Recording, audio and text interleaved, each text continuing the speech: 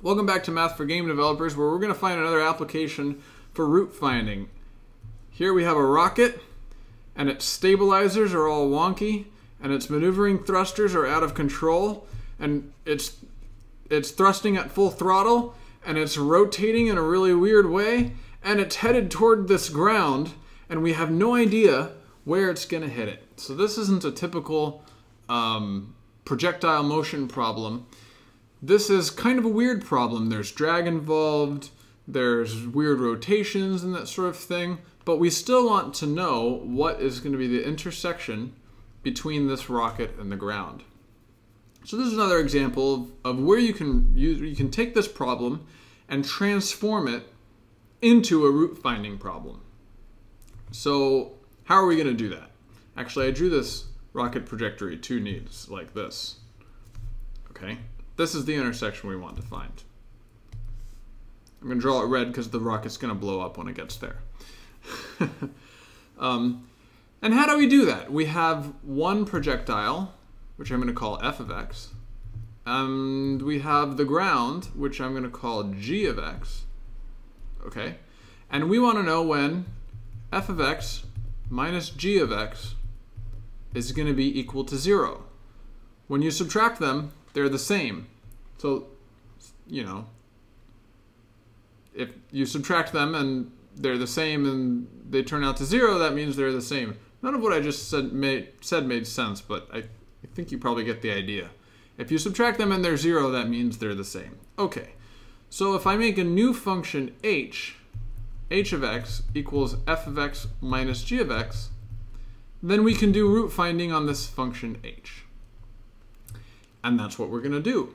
And we're going to use a new method called Newton's method. And to explain how Newton's method works, I'm going to draw another graph here.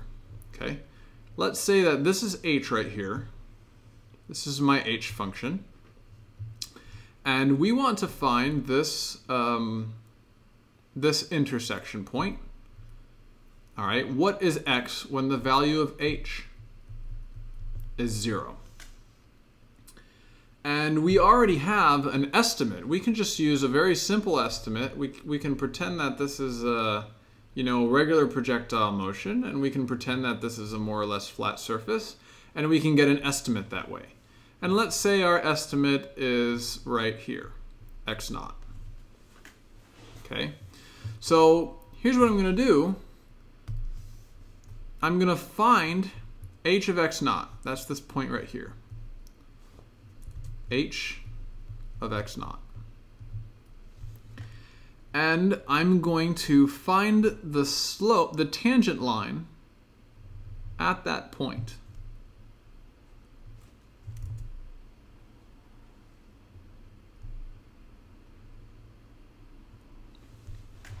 And you can see that that tangent line intersects the x-axis at a point very close to where uh, to where the actual function intersects the x-axis.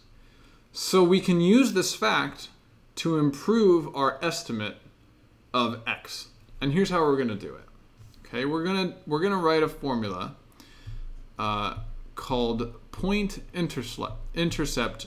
No, I'm sorry, point slope form which you probably encountered in uh, grade school somewhere. So the idea of this formula is we have a point, x naught, y naught, and we have a slope, m.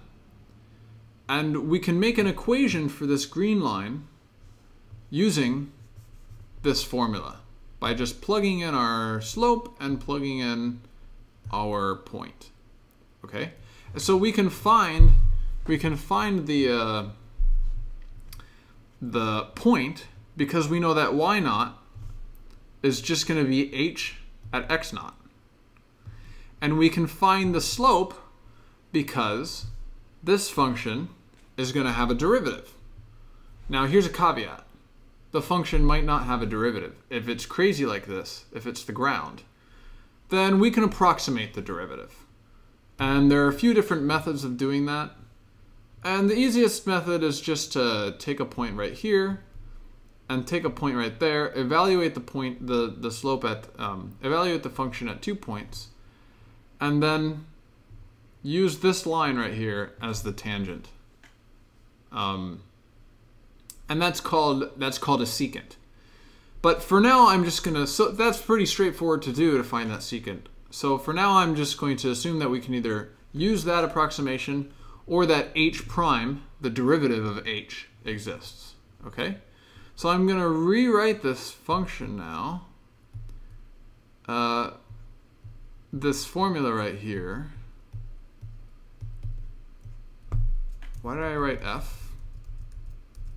h x naught equals h prime. That is the derivative or the tangent, the slope of the tangent line at the point x naught times x minus x naught. So that is the formula for this green line. Now we know that the intercept of the green line happens when y equals 0. So this is going to go to 0. And we're solving for x. We're trying to solve for x. So if I do solve for x, this is what I'm going to get. I'm going to get x equals uh, x naught minus h at x naught over h prime at x naught. Now that is a um, an approximation of x, not actually x. So I'm going to call it x1. So this line right here is going to get an intercept with the x-axis pretty close to x to where x is. And I'm going to call that x1. And then I can do this over and over and over. Now I can use x1 as a new estimate and it's a much better estimate. So I'm going to get, a, so if I do x1 minus, I'll even use a new color for it, x1 minus h at x 1 over h prime at x1, then I get a new estimate, x2. And I can keep doing this forever, or until I get an acceptable um, estimate, an estimate that's within, you know, I can use the same error calculation uh, that I used, for example, in the bisection video, and to, uh, to determine whether I'm, I'm now accurate enough. So this is Newton's method, and it converges to the answer that you want much, much faster than bisection method. And the reason for that is that every continuous function looks flat if you zoom in enough.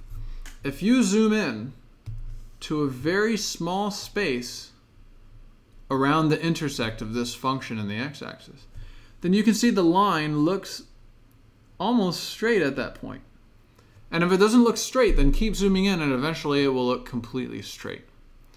Um, and when it is completely straight, this tangent line is an exact um, estimate of that line.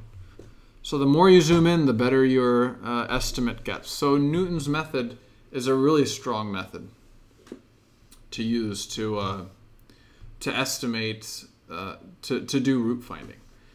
But of course, we have a few limitations, as always. And one limitation number one is that you need a good first guess.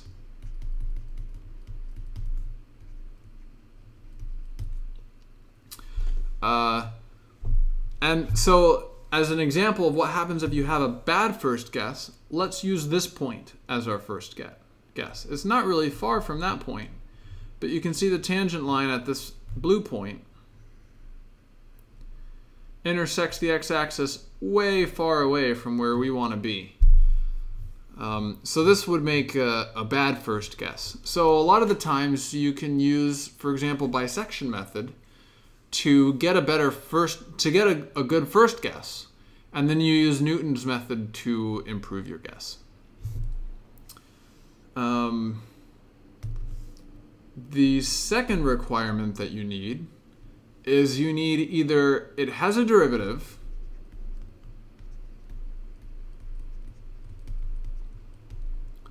or you can get a good estimate of the derivative. And that's all you need. Uh, Newton's, Newton's method is a really powerful method. Um, so no code section for this video.